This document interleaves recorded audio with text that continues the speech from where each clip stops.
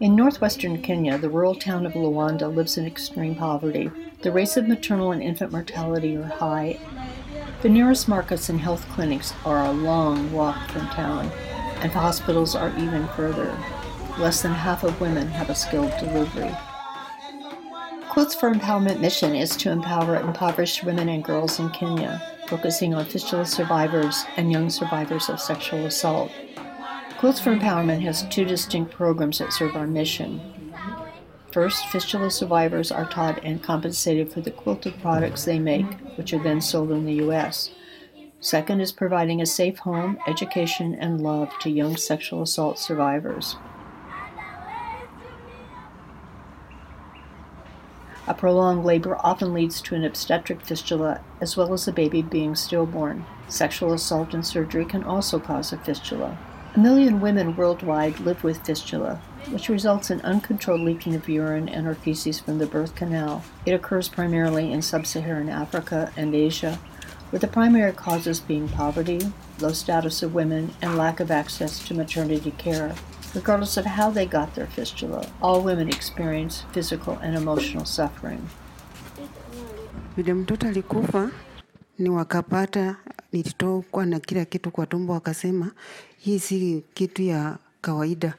Sasa watu wangu walinikimbia wali ako kidogo, hata bwana akaanza kusema mtu mwenye anatokwa na uchafu yote hivi tutakaaje?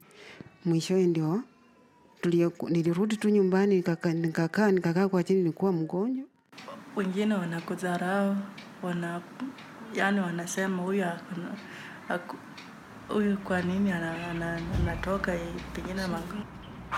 Fistula can be surgically treated. For a lady, if you have given birth, never give up. Fistula is a treatable disease. If you have it, you should not get worried about it and be proud of yourself.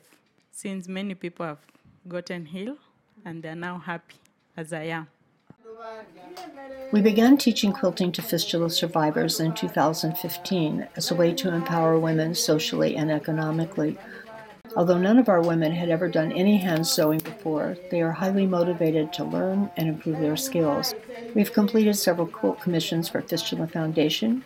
In April 2019, we made 900 compass bags for the World Forum Foundation's meeting in Macau, China. In addition to paying women monthly for their individual work, Quilts for Empowerment contributes an equal amount to their income generating support group.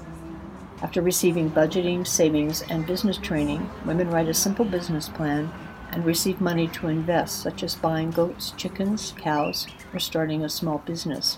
The stability and financial success of our quilting program has allowed us to address the other part of our mission, empowering young survivors of sexual assault Yoanita arrived first, coming to us after surviving an attempted rape while fetching water.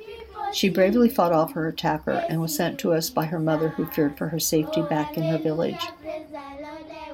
Yonita was soon joined by sisters Anne and Sharon, who were severely malnourished as well as assault survivors. Within days, all three were being escorted to and from school by their tutor and were proudly wearing their school uniforms. Our first family of girls was completed a few weeks later when Rose arrived wearing the only dress she owned. Already Sharon and Anne have gained weight, and now all four are safe, loved, and enrolled in school. All have been treated for a variety of health problems, but are now thriving. There's already a waiting list for girls under 10 years old who've been assaulted and are in need of our support. On behalf of the whole group, to say thank you Thank you, thank you, thank, thank you, Thank you. Thank you. shine, shine, shine, I want to shine. Shine, shine, shine, I want to shine. What people see